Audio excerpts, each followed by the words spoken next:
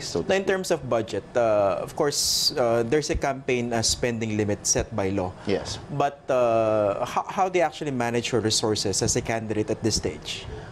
Well, right now, um, again, it's man, message, machinery, and money. So the, those are the four M's. Right now, you should be concentrating on your machinery, which entails money.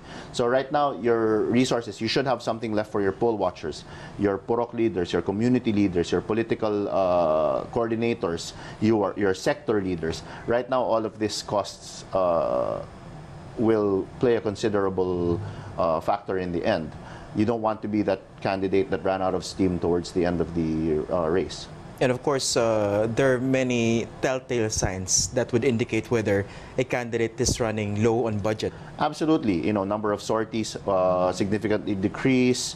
Uh, leaders are getting disgruntled. Uh, massive ad spend suddenly goes down. Suddenly, no more visible postering, no more visible um, above-the-line materials. So yeah, there are these telltale signs. Now, th- there's a campaign spending limit set by law, but uh, in reality, how much does it take for uh, a senatorial candidate to run a nationwide campaign? How much does it cost in reality? Well, there are some modicum of factors involved, an entire gamut of uh, factors. Whether you are in, an incumbent, whether you have a strong, you're part of a strong party, whether you have the name recall to begin with. Again, there's some um, uh, endless array of factors to consider.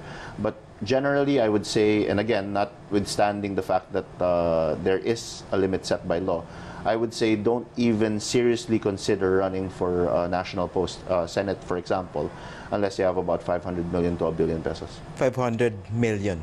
So Yes. basically half a billion. Half a billion to a billion. So But 500 if you talk about uh, what is set by law, of course, you only spend uh, 3 pesos. yes per candidate. If you have uh, a, a party, but if you're an independent, 5 pesos, Five per pesos. registered voters. Yes, correct. That's so correct. makikita mo kalahati nung, yes. no kalahati. estimate. Definitely yes. Okay. So, so in this case, let's say you have limited resources. Where, where do you concentrate at this stage?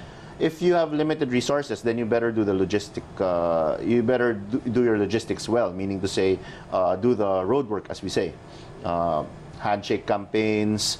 Uh, go out into your sorties, meet the people, uh, be visible in town hall meetings.